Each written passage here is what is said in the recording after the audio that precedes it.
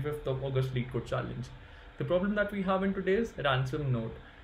I believe most of the subscribers of Coding Decoded will be able to solve this question by themselves as it's a fairly easy problem. However, those who are new, here is a solution. Even before jumping on to the details of the algorithm, let's quickly try and understand the question first and then we will move on to the presentation.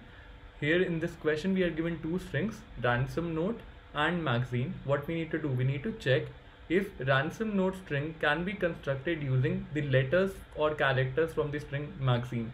If it is possible, then we need to return true. If it is not possible, in those cases, we need to return false.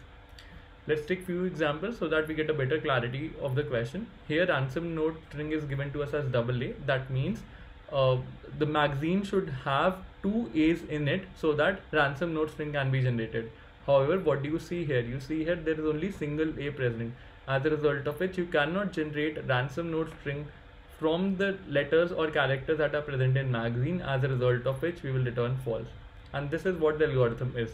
Had there been the case here in in the magazine string the value would have been double a b or a b a.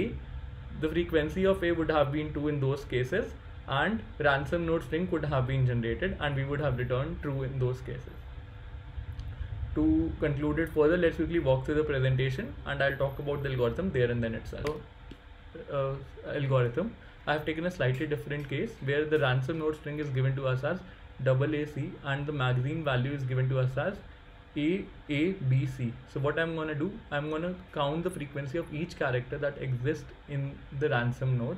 So what is the frequency of A? The frequency of A happens to be 2. What is the frequency of C? The frequency of C happens to be 1. Similar thing I'm going to do for the magazine as well. So A happens to be 2 and B happens to be 1. C happens to be 1.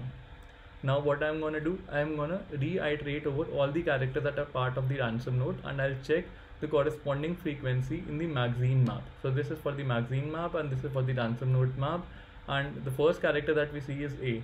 So we check whether the frequency of A in the magazine map is greater or equal to the frequency of A in the ransom note map. So this is equal, that means it's a happy case we move on to the next character which is C. C frequency is 1 over here, C frequency is again 1 over here. Again it's a happy case because uh, one C is needed and it is found in the magazine string and with this we have completed the iteration therefore we will return true as the final answer. Had there been the case the C frequency would have been 0 over here we would have returned false. To conclude it further let's quickly walk through the coding section and finalize the code. First of all, I would like to thank Saurabh for submitting the solution on coding decoded GitHub repo. So this is a link guys where you will find solutions of daily LeetCode problems for various months. We started this journey back in August 2020 and from past two years we have been doing uh, daily LeetCode problems consistently, consistently and also subscribers of coding decoded raise the pull request on regular basis. So few do it in C++, others do it in Java. So as you can see, Saurabh submitted uh, the solution today itself and the solution is ransom of ransom note is taken from his code which is this one I have just updated the name of the variable from hash to frequency it's a simple algorithm guys uh, as I talked in the presentation as well here we count the frequency of each character that is present in magazine. We iterate over the ransom string node and instead of uh, counting the frequency of each character in a separate variable we are basically reducing the frequency of the same character by 1 and in case the frequency goes lower than 0 that means we'll have to return false in those cases. The advantage that we get by this approach is that we have to do only two iterations while in the presentation we have to do iterations three times although it won't impact the time complexity. So so I have some successfully submitted the algorithm 99% faster which is pretty good.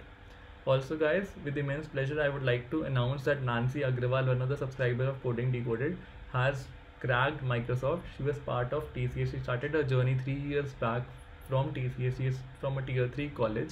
And this video goes live tomorrow. She has talked about her preparation strategy what all she did in order to crack Microsoft Goldman Sachs like companies and I promise once you will go through this video you are gonna thoroughly enjoy this up so if such a goal is on your charter this video is for you I'll see you tomorrow with another fresh question. Take care. Goodbye. And guys, please subscribe to Coding Decoded. Your subscription really means a lot to me.